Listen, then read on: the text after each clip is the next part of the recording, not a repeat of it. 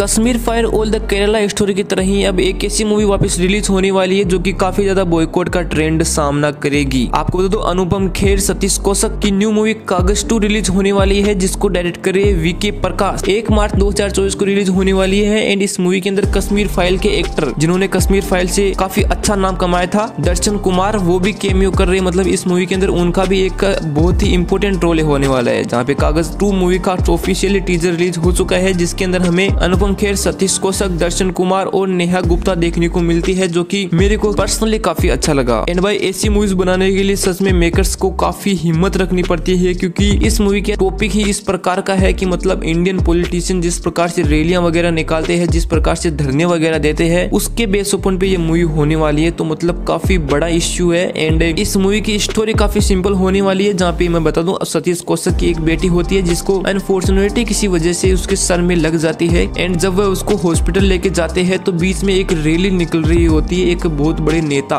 की रैली निकल रही होती है, जिसमें फंस जाने की वजह से वह हॉस्पिटल जाने में काफ़ी लेट हो जाती है। उसके बाद में जस्ट पाँच मिनट अगर उसको पहले लेके आ जाती तो शायद उसकी जान बच सकती थी, लेकिन वह उस रैली की वजह से लेट हो जाती है। एंड उसके कारण वह सतीश कौशक बेसिकली अपनी बेटी की डेथ होने के बाद में कंज्यूमर कोर्ट में जाते हैं मतलब हाई कोर्ट सुप्रीम कोर्ट तक चले जाते हैं एंड उस नेता पे केस कर देते हैं, जिसकी वजह से काफ़ी बड़ा इश्यू क्रिएट हो जाता है। वही पे दर्शन कुमार, अनुपम खेर की बेटी बनी हुई है एंड वह एक फौजी का कैरेक्टर निभा रहे तो जैसे कि उनको वो सूट भी करता है। बाकी अनुपम खेर एक लॉयर बने हैं जो कि इस रैलियों वगैरह एंड जो मतलब जितने भी धरने प्रदर्शन वगैरह होते हैं, उन पे काफ़ी बड़ा एक्शन उठाने के बारे में सोच रही है। बाकी मूवी की स्टोरी काफ़ी सिंपल है, लेकिन आपको बता दूँ, आजकल ये रैलियाँ वगैरह एंड जो नेताओं की रैलियाँ वगैरह आजकल काफ़ी ही ज़्यादा ट्रेंड में चल रही है। बाकी उसी के हिसाब से बता दूँ, अभी जो बहुत बड़े बड़े स्टेट है, जैसे राजस्थान एमपी यूपी ऐसे स्टेट्स के अंदर नेताओं की रैलियों पे काफ़ी लोग इकट्ठा भी हो जाती है, जिसकी वजह से सच में एंबुलेंस वगैरह को जाने में काफ़ी तकलीफ़ भी होती है। एंड आए दिन हम सुनते भी है की रैलियों के अंदर एक्सीडेंट वगैरह हो भी गई। तो अगर ये मूवी रिलीज़ होती है एंड किसी एक पर्टिकुलर नेता के ऊपर अगर अंगुली उठी तो काफ़ी कुछ बवाल मच सकता है। एंड इस मूवी को सच्ची में काफ़ी कुछ इफ़ेक्ट पड़ सकता है। बाकी अगर ये मूवी रिलीज़ हुई तो हमारी इंडियन गवर्नमेंट को भी पता चलेगा, जो की सेंट्रल में बैठे, उनको भी पता चलेगा की इंडिया के अंदर रैलियों के नाम पे क्या क्या किया जाता है। एंड हम सबको पता है की रैलियों के अंदर कौन कौन सी गलत गलत काम भी होते हैं। तो अगर आपने इसका ट्रेलर नहीं देखा तो जल्दी से जाके देख लेना। बाकी ये मूवी बहुत जल्द मतलब एक मार्च को रिलीज़ होने वाली है। बड़ा टॉपिक है एंड काफ़ी मज़ा आएगा, क्योंकि ऐसे टॉपिक्स पे मूवी का बहुत ही कम बनती है। बाकी आपने देखा है देखा इसका ट्रेलर कॉमेंट सेक्शन बता देना। एंड देखा है तो आपको कैसा लगा ट्रेलर ये भी बता देना। बाकी मिलते हैं नेक्स्ट वीडियो में। तब तक जाके हमारे चैनल को सब्सक्राइब कर लेना। जय हिंद, वंदे मातरम।